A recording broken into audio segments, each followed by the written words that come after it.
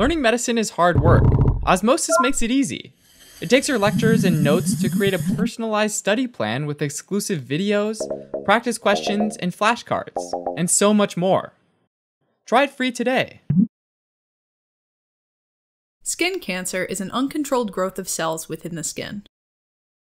There are three main types basal cell carcinoma, squamous cell carcinoma, and melanoma.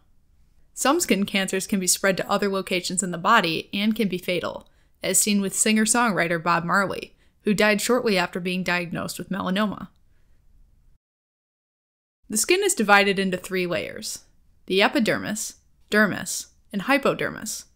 The hypodermis is made of fat and connective tissue that anchors the skin to the underlying muscle. Just above is the dermis, which contains hair follicles, nerves, and blood vessels. And just above that, the outermost skin layer, is the epidermis. The epidermis itself has multiple skin layers that are mostly keratinocytes, which are named for the keratin protein that they're filled with. Keratin is a strong fibrous protein that allows keratinocytes to protect themselves from getting destroyed, like when you rub your hands through the sand at the beach. Keratinocytes start their life at the deepest layer of the epidermis, called the stratum basale, or basal layer, which is made of a single layer of small cuboidal to low columnar stem cells that continually divide and produce new keratinocytes that continue to mature as they migrate up through the epidermal layers, flattening out to a pancake like squamous shape as they ascend. But the stratum basale also contains another group of cells, melanocytes, which secrete a protein pigment or coloring substance called melanin. Melanin is actually a broad term that constitutes several types of melanin found in people of differing skin color. These subtypes of melanin range in color from black to reddish yellow, and the relative quantity and rate at which they are metabolized define a person's skin color. When keratinocytes are exposed to the sun, they send a chemical signal to the melanocytes, which stimulates them into making more melanin. The melanocytes move the melanin into small sacs called melanosomes, and these get taken up by the newly formed keratinocytes, which will later metabolize the melanin as they migrate into higher layers of the epidermis. Melanin then acts as a natural sunscreen because its protein structure dissipates or scatters UVB light, which, if left unchecked, can damage the DNA in the skin cells and lead to skin cancer. Melanocytes can also be found in the dermis, at the base of the hair follicle, where they transfer melanin to the keratinized cells that make up hair. Now, a tumor develops if there's a DNA mutation in any of these cell types that leads to uncontrolled cell division. Typically, these are mutations in proto-oncogenes, which results in a promotion of cell division, or mutations in tumor suppressor genes, which result in a loss of inhibition of cell division. You can think of proto-oncogenes as the accelerator or gas pedal, and tumor suppressor genes as the brakes. Too much acceleration, or an inability to brake, can lead to runaway cell division. As a result, the mutated cells can start piling up on each other and can become a tumor mass. Some of these tumors are benign and stay well contained or localized, but some can become malignant tumors or cancers, and these are the ones that break through their basement membrane and invade nearby tissues. Malignant tumor cells can get into nearby blood or lymph vessels and travel from the primary site to establish a secondary site of tumor growth somewhere else in the body, and that's called metastasis. Skin cancer is differentiated based upon the type of skin cell that's involved in the tumor mass. The most common is basal cell carcinoma, which involves cells in the stratum basale.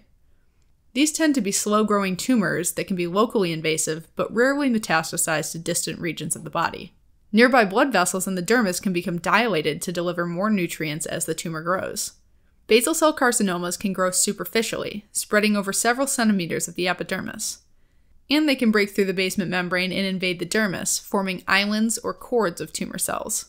Tumor cells on the periphery of islands typically arrange themselves in a line, like fence posts, forming a palisading pattern.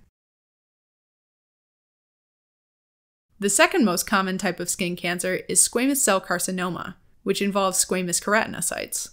Now, a precancerous lesion that can turn into squamous cell carcinoma is called actinic keratosis. In actinic keratosis, keratinocytes are damaged by radiation and begin to overproduce keratin. Over time, these damaged keratinocytes can develop into squamous cell carcinoma. An early stage of squamous cell carcinoma is also called Bowen's disease, or squamous cell carcinoma in situ. At this point, the tumor can be found in the epidermis, but it has not broken through the basement membrane. Tumor cells are atypical, enlarged, and overpigmented. As squamous cell carcinoma becomes more invasive, it can break through the basement membrane and extend into the dermis. It may even reach the hypodermis, at which point it's more likely to metastasize. Tumor cells at these more advanced stages typically vary in their degree of maturity, have abnormal shapes, and overproduce keratin, forming pearls. Finally, the most aggressive form of skin cancer is melanoma, which involves melanocytes. Now, melanocytic nevus, more commonly known as a mole, results from a type of melanocyte that overproduces melanin. These moles can be considered precancerous because they carry an increased risk of becoming a melanoma. Melanomas grow horizontally within the epidermis and superficial dermis, and they grow vertically, invading the dermis. Metastasis is most associated with the depth of invasion, and in fact, melanoma is the most deadly form of skin cancer because of its tendency to metastasize quickly. Typically, the tumor cells have a large nuclei with irregular contours and produce melanin in a variety of colors brown, red, dark blue, and gray. The causes of skin cancer can be both genetic and environmental.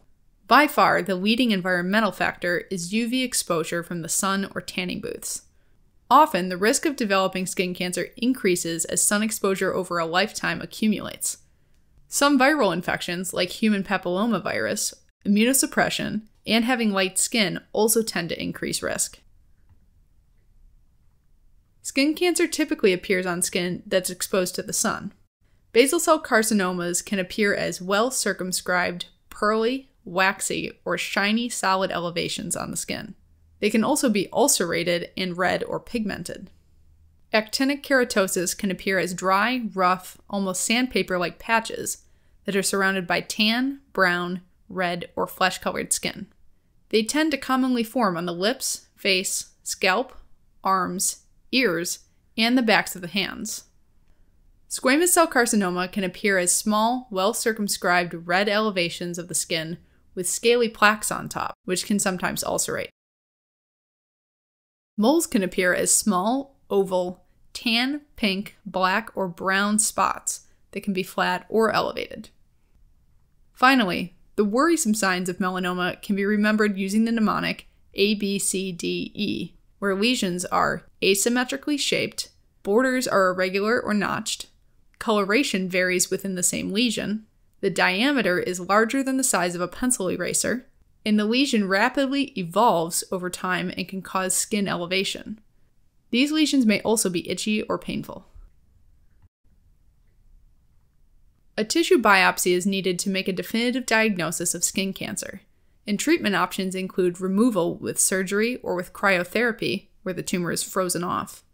Radiation, chemotherapy, or immunotherapy may also be options. In precancerous cells, like actinic keratosis or melanocytic nevus, are typically removed to prevent their progression to skin cancer with cryotherapy or photodynamic therapy, which is where light is used to induce cellular death. So, to recap, there are three main types of skin cancer.